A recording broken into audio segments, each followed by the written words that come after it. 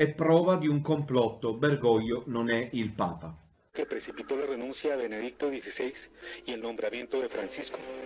Las recientes declaraciones de uno de los máximos representantes del modernismo católico, el cardenal belga Gottfried Daniels, con ocasión del lanzamiento de su biografía autorizada, publicada el 9 de septiembre del 2015, confirman la acción de varios obispos y cardenales, principalmente centroeuropeos, que desde 1996 vienen secretamente conspirando para oponerse a la elección y luego al papado de Benedicto XVI y posteriormente para promover y conseguir la elección del Papa Francisco. Así lo dejan ver con claridad las explosivas e insólitas declaraciones en las que siendo entrevistado por un canal de televisión belga sobre el lanzamiento de un libro titulado en inglés Gottfried Biography, el cardenal reconoció formar parte de una mafia en la que varios purpurados consiguieron la elección del Papa Francisco. En esa entrevista, Daniels reconoció, como se explica en el libro, la existencia de un grupo de cardenales que se confabularon para controlar la sucesión de Juan Pablo II e impedir el papado de Benedicto XVI. Los miembros de lo que Daniels define burlescamente en el video como la mafia.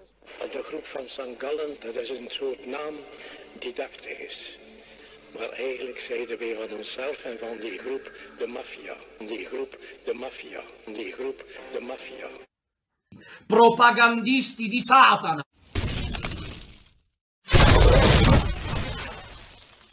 De maffia. Die groep de maffia. Die groep de maffia. son el cardenal de Milán Carlo María Martini, su compatriota Achille Silvestrini, los cardenales alemanes Walter Kasper y Karl Lehmann, el británico Basil Hume y el obispo holandés Adrian van Loon. Desde su origen, varios son los objetivos de esta mafia eclesial, así denominada por el propio cardenal. Modernizar la Iglesia Católica, realizar reformas drásticas para hacerla más actual, lograr que estas reformas fueran lideradas por su candidato a suceder a Juan Pablo II, el cardenal argentino Jorge Mario Bergoglio, pero sobre todo crear una resistencia secreta para contrarrestar la poderosa influencia del cardenal Ratzinger bajo el pontificado de Juan Pablo II. Tal fue la tenacidad del trabajo de este siniestro grupo que otros medios también le atribuyen la renuncia de Benedicto XVI. El grupo de San Galo o San Galen toma su nombre de la abadía suiza donde se dieron las reuniones desde hace poco menos de 20 años, cuando Monseñor Ivo Führer, obispo de San Galo, la fundó. Gottfried María Jules Daniels fue arzobispo metropolitano de Malinas, Bruselas, y presidente de la conferencia episcopal de su país natal desde 1979 hasta 2010.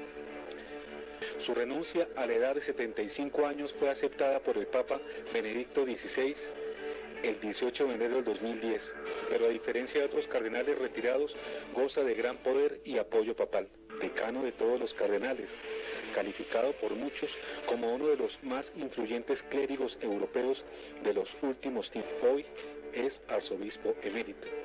La nueva biografía, según Pentin, revela que Daniels escribió en 2003 una carta de apoyo al gobierno belga por el cambio de legislación que aprobó el matrimonio de personas del mismo sexo. Un periodista en su artículo recordó que el cardenal Daniels es ya conocido por varios escándalos, entre los que están el intentar convencer al rey de Bélgica en 1990 para que aprobara una ley del aborto intentar silenciar a una víctima en un sonado caso de delito de abuso sexual clerical y negarse a prohibir el uso de material educativo pornográfico en las escuelas católicas belgas. De igual manera, retoma el escrito unas declaraciones de Daniels donde dijo que el matrimonio de personas del mismo sexo es un evento positivo. Se non bestemmio, guarda. Propagandisti di Satana! En el gobierno también se aprobaron leyes que favorecen la eutanasia, los experimentos con embriones humanos y la fecundación in vitro. Pentin critica que a pesar de los malos resultados de la iglesia belga en la resistencia a estas leyes, el cardenal Daniels será uno de los tres prelados belgas que asistirán al sínodo en curso.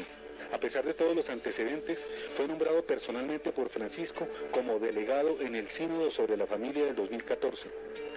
Nombramiento ratificado, pues también es actual delegado papal para el Sínodo de Obispos que se adelanta por estos días en Roma. La noticia fue también publicada al otro día por Marco Tosati, principal corresponsal de religión para el diario italiano La Stampa. El 25 de septiembre pasado, apenas 10 días antes de iniciarse en Roma el Sínodo de Obispos sobre la familia. En este artículo publicado en inglés por Rorate Shelley, Tosati afirma que según los autores de la biografía, Daniels se había ocupado durante varios años de preparar la elección del Papa Francisco. Sobre la actuación del purpurado belga, participante de los dos últimos cónclaves, Tosati cita al diario belga Le Bif, que señala textualmente, el 13 de marzo de 2013, día de la elección del cardenal Bergoglio como nuevo papa, había un viejo conocido de nuevo papa Francisco, Gottfried Daniels, Oficialmente estaba allí como decano de los cardenales presbíteros, pero en realidad había maniobrado discretamente durante años para influir en la elección papal. Según esta noticia, el director de esta mafia cardenalicia fue el extinto cardenal de Milán, el jesuita Carlo María Martini, quien falleció en el 2012. Achille Silvestrini, Walter Kasper, Karl Lehmann, Basil Hume y el obispo holandés Adrian van Leeuwen. De igual manera denuncia en su artículo los escándalos del cardenal belga sobre su encubrimiento cómplice a la pederastia clerical, su laxitud y tibieza para defender la iglesia de la arremetida de la ideología de género y sus heréticas posturas frente al aborto y al matrimonio gay. Por eso afirma que la postura de Daniels con relación al matrimonio homosexual y al aborto no es coherente con el magisterio de la iglesia. Se non guarda. En línea con el espíritu rebelde, cismático y antipapal de la mafia cardenalicia denunciada por Daniels, en junio del 2011 casi 400 sacerdotes austriacos firmaron el llamado a la desobediencia, con el que pedían abolir el celibato obligatorio, permitir la comunión de divorciados vueltos a casar, el sacerdocio femenino, permitir a laicos predicar y dar los sacramentos sin misa, ordenar sacerdotes casados y aprobar las uniones homosexuales.